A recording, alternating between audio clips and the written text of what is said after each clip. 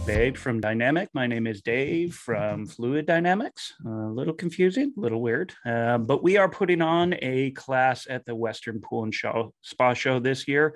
Super excited about it. We actually just uh, did the inaugural version of this class at the Atlantic City Pool Show in New Jersey and had 20 um, some students, and it went off really, really well.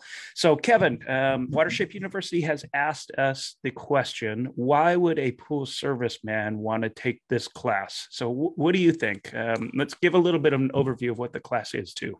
Yeah, I'm, I'm thinking, you know, we, we talk a lot about um, a lot about plumbing inside the equipment area. And so a lot of pool service guys who are replacing pumps and re, replumbing equipment, you're gonna you're gonna learn a lot about what to do and what not to do, um, for one thing, um, and uh, how to make your systems function better.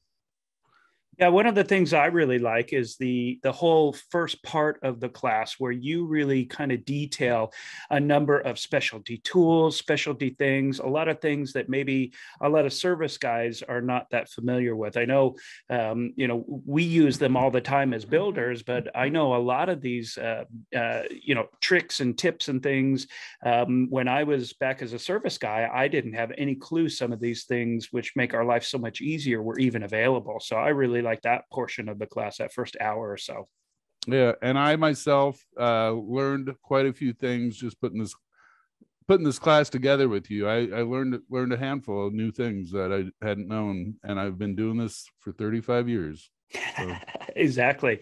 Um, and I know when I started out in this industry, I started out as a service guy, and as a service guy, you know you just kind of fall into things um, and you you know you you you take in as much information at shows like the western pool and spa show and uh, but you don't you can't always gather everything that you need and we had a number of service guys that actually sat in the atlantic city show mm-hmm. and um, i know i had one of them come up to me and said that this was the best class he had ever taken it was so much good information so i'm really i really look forward to um, you know, just teaching some of the whys. Why do we use primer? Why do we paint pipe? Why do we pressurize things this way? Those kind of things.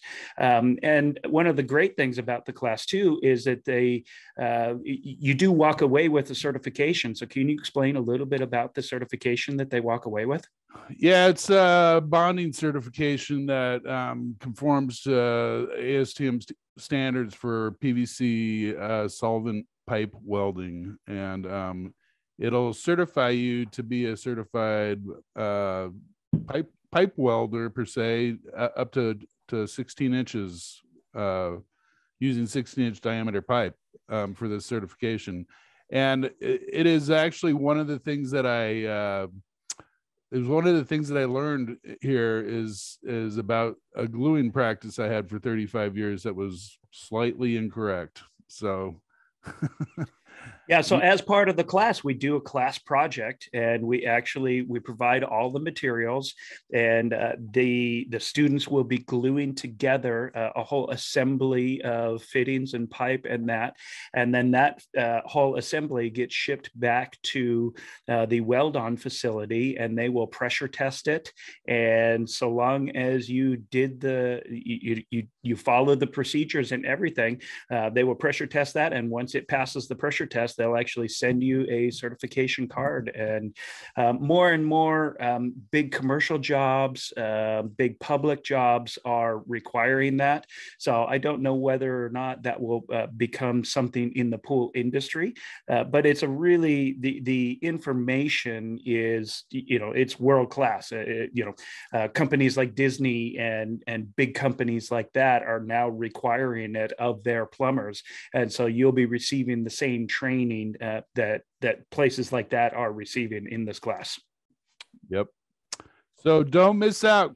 Come and see us in Long Beach, California at the Western Pool Spa Show. You won't regret it. See you soon.